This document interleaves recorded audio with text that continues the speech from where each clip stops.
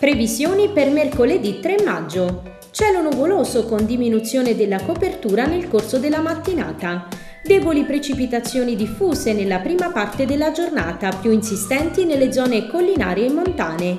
Temperature in lieve aumento nei valori massimi. Venti di brezza tesa, mare mosso.